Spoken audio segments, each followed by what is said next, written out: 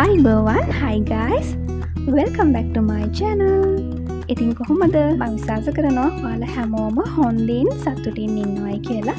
ඉතින් මම අද තරංආවේ වාට හුඟක් වැදගත්වෙන ටොපික් එක අපි හැමෝම මුහුණි ක්‍රීම් වර්ග ආලෙප කරනවා.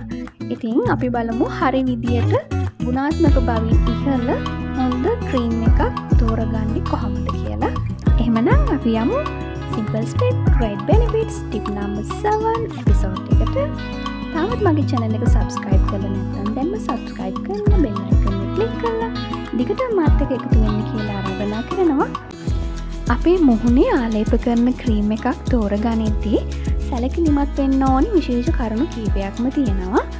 මුලින්ම ඔයාගේ සමය වර්ගය අඳුරගෙන ඊට ගැලපෙන ආලේපන වර්ගයක් තෝරගන්න ඕනේ. වගේ සම සාමාන්‍ය සමක්ද වියලි සමක්ද එනතන් තෙල් සහිත සමක්ද මුක්ත සමක්ද එහමනත්තම් සංවේදී සමක්ද කුරුලෑ සහිත සමක්ද අසාමාන්‍යතා සහිත සමක්ද එහනත්තම් මැදිවිය සමක්ද කියලා අවබෝධයක් තියෙන්න්න මෝනි මොකද මොන ස්කින් ටයිප් එකට හදපු ක්‍රීම් එකක්ද කියලා අනිවාර්යම බලන්න ඕනි.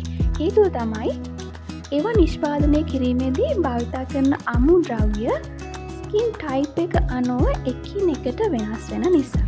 ඊළඟ කරනාව තමයි ඔයාගේ සමේ ගැටලු මොනවද කියලා ඔයා අඳුරගෙන ඉන්න ඕනි එකවී කුරුල ඇතියෙනවද සමවියනිලාද සමේ රැලිගතියක් ඇති වෙලාද එමනැතා සම දුර්වර්ණ වෙලාද කියලා අඳුරගන්න ඊට අනුකූලව තමයි ක්‍රීම් එක තෝරගන්න ඕනි.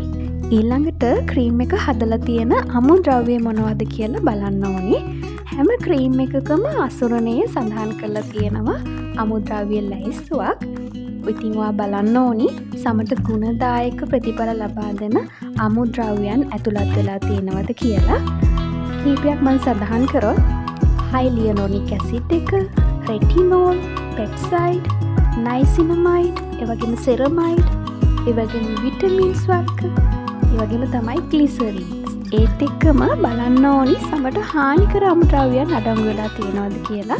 මං කීපයක් සඳහන් කරන්නම්. පැරබන් සල්පේට්ස් ඩයි එවගම තමයි අහිතකර කෘතිීම සුවඳවර්ග ඊළඟට ඔයාගේ වයස ගැන සැලකිලිමත් වෙලා වයසට අනුව ගැලපෙන ක්‍රීම්වර්ගේ තෝරගන්න ඕනි තවත් කාරණාවක් තමයි කීර්තිමත් වෙළඳ නාමයක් යටති තියෙන නිෂ්පාදනයක් තෝරගන්නනි ඒවගේම මේ ආලේපන වර්ග මොන රටේද නිෂ්පාදනය කරලා තියෙන කියලා දැනුවත්වෙන්න ඕනි.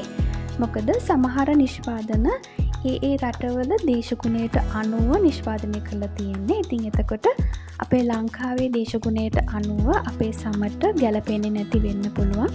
ඉති නිසා ඒ කරුණත් මතක තියාගන්න. ඉවගේම ආලේපන නිෂ්පාධිත දිනය සහ කල්ලිකුත්තන දිනේ ගැනත් අනිවාරයෙන්ම අමතක නොකරම බලන්න ඕනි.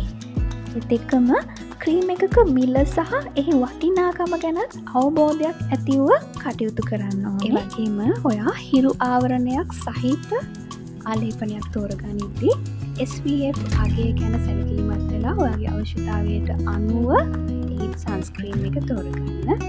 හැම ක්‍රීම් එකකම සඳහන් කරලා තියෙනවා අසුරණයේ පගේ කොච්චරක් තියෙනවද කියලා. ඉතින් ඒක ක්‍රීම් වර්ග අනුව වෙනස්සෙනවා වාට පුළුවන් මේ ගැන අවබෝධයක් ලබාගෙන ඊට අනුකූලව තෝරගන්න වගේ ක්‍රීම් එක.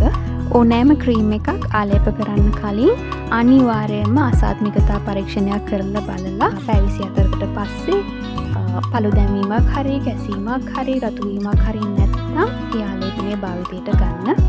ඒවගේම තමයි සමත අහිත කර බ්ලිචින් වර්ග අඩංගු නැති හොඳ ක්‍රීම් එකකින් ප්‍රතිඵල ලබාගන්න ටිකක් කාලයක් යනවා. ඉතින් ඒක නිසා ඒ ගැනත් ඉවසීම ඇති කරගෙන ක්‍රීම් වර්ග ආලෙප කරන්න මතක තියාගන්න. ඉතින් මෙන්න මේ විදිහට හැම දෙයක් ගැනම දැනුවත් වෙලා ගුණාත්මක බවින් ඉහල හොඳ නිෂ්පාදනයක් තෝරගන්න මං හිතනවා හොට මේ වීඩියක වැදගත් වෙන්න ඇති කියලා. పరిశ్రమే సత్తు తింగిన్న థ్యాంక్ యూ బాయ్